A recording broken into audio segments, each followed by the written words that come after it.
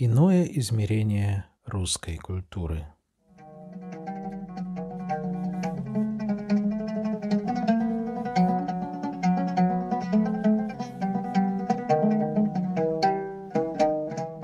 Аркадий Тимофеевич Аверченко.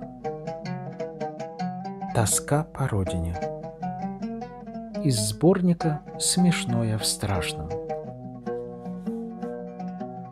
Читает Евгений Бразов-Брюшковский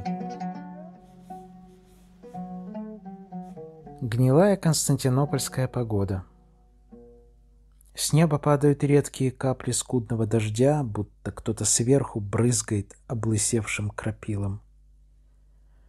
Над крышей что-то взвизгивает и ревет. Очевидно, это черти украли христианскую душу и никак не могут ее поделить.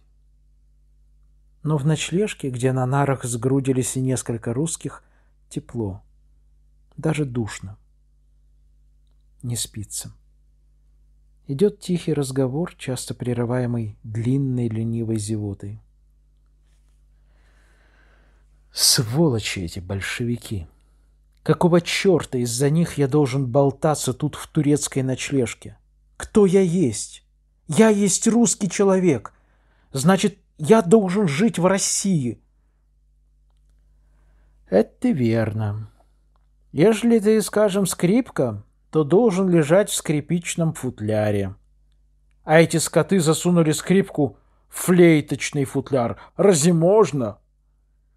Почему теперь Рождество Христово и дождь? Как так возможно? Я, может быть, об эту пору не переношу дождя. Мне снег нужен. Хороши снега у нас в Москве. Нормальные. Полозья скрипят. Бубенцы на Ванькиных клячек звенят. Вот жилось. Я раз, это, от Курского вокзала в газетный переулок ездил. Два пальца отморозил. Вот это была жизнь! Не жизнь, а масленица! А мы тоже раз с компанией в Петровский парк ездили. А не возьми для смеху и столкни меня в снег. А сами деру. Эх, жилось.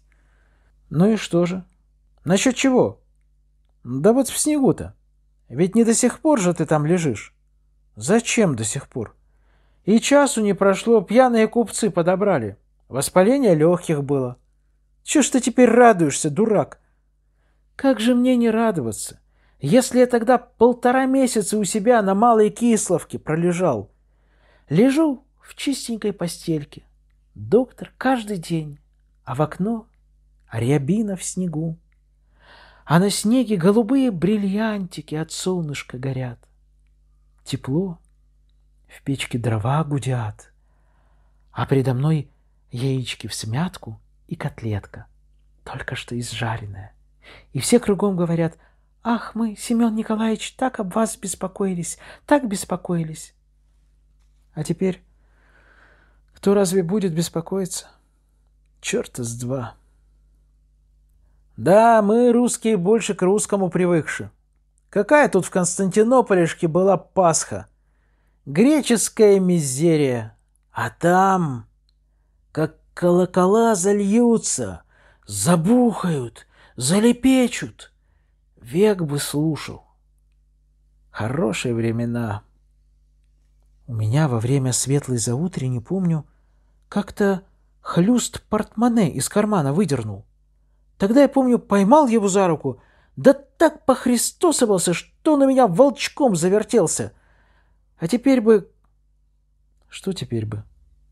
А теперь бы я все карманы ему сам растопырил. Бери, тащи, мил человек. Только бы мне еще хоть полчасика у Василия Блаженного со свечкой постоять, колоколов послушать. А я смотрю так. Вот попал я однажды там, в Москве, в участок. По пьяному делу товарища, по Кузнецкому, на своей единоутробной спине возил. Так что ж вы думаете? — Дал мне околоточный два раза по шее, дураком назвал и в какой ни на есть комнату посадил. Действительно, в те времена дураком я был, потому что обидно мне сделалось и даже плакал. А теперь бы... Что ж теперь? Сам бы околоточного бил, что ли? Ну, действительно, Разве можно околоточного бить? Я его уважаю. А теперь бы я бы год целый у него в участке просидел и получал бы каждый час по шее, и дурака бы с моим удовольствием бы слушивал. Только бы не этим воздухом участочным подышать. Крепкий дух, но приятный. Тут тебе и сапогом кожаным, и махоркой, и вообще. Родной это дух, братцы вы мои, участочный. И ни на какой букет я его не променяю. Кто-то невидимый мечтательно дополняет. В охотном ряду тоже запах был невредный. У нас в Москве и сирень пахнет лучше, чем где.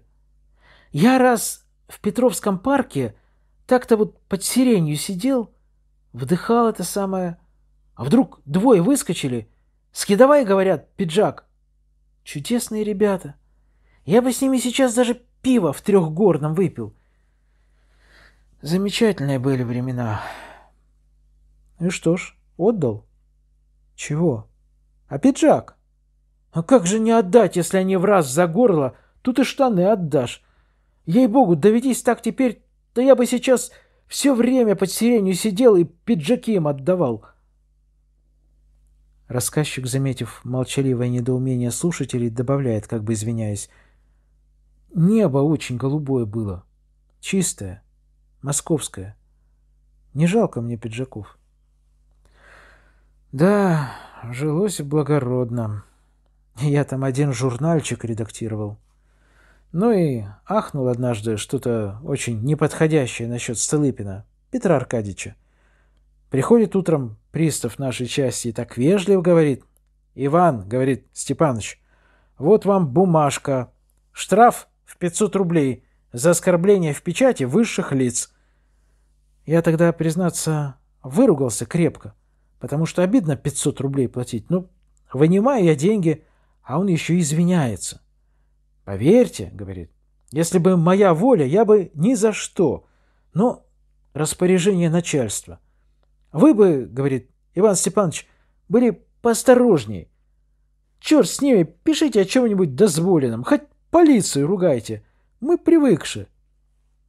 И так этот приставишка растрогал меня, что пал я ему в объятия, и долго мы плакали, как два брата. Врешь ты все. Чего вру? А вот что с приставом в объятиях плакали. Это почему же вру, скажи на милость? Да потому что не будет тебе пристав плакать. Хоть ты его озолоти. Они были серьезная, деловая публика. Ну так что? А то, что значит и ты врешь. Ну хорошо, ну пусть вру. Но ведь трогательно. Трогательно-то оно трогательно. Однако надо бы уже и спать. Все кряхтя укладываются. Редкие капли, скатывающиеся с невидимого облысевшего крапила, робко, с подлой трусостью, постукивают в окна. «Разве это дождь?» — с ядовитой улыбкой говорит человек, поймавший вора у светлой заутрени.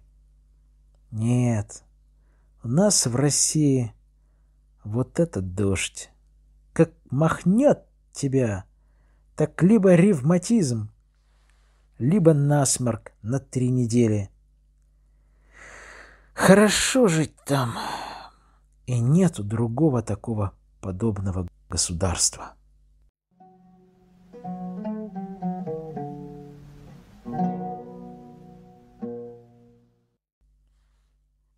1923 год.